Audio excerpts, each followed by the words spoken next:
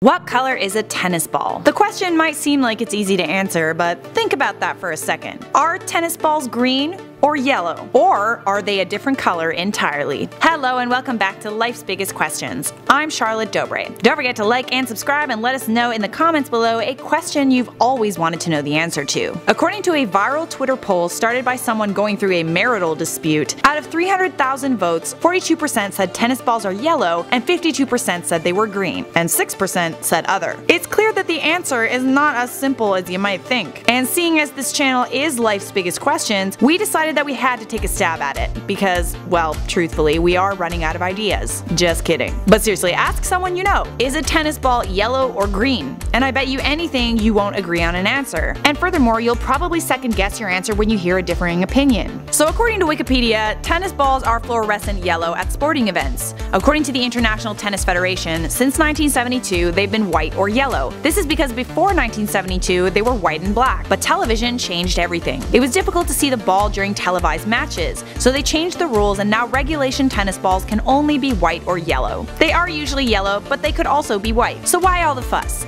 Why is it so hard to decide what color a tennis ball is? According to Bevil Conway, a color expert and researcher at the National Institutes of Health Eye Institute, we base our opinion of a color of something based on perceptual and cognitive factors. Perceptual being the light from the tennis ball that's entering your eye, and cognitive being what everybody else's opinion is. Your brain and its ability to see light affects your perception of something. A tennis ball can look yellow with the right amount of light on it, but the shadows on the tennis ball can make it appear green. Different light can actually completely change our perception of what color an object is. Some people discount cool colors like green and blue, and other people discount warm colors like yellow and orange. It will completely depend on the person. This can be applied to the dress. Remember the famous dress from 2015 that stumped the internet? The same people that believe tennis balls are yellow see the dress as gold and white, and the same people that believe tennis balls are green saw the dress as black and blue. The way we see colors could also have a lot to do with our lifestyles. If we were spending a lot of time outside, our eyes are exposed to blue daylight, and therefore we will see the tennis ball as yellow. If you're someone who spends a lot of time inside under fluorescent light, you'll probably discount warm colors and see the tennis ball as green.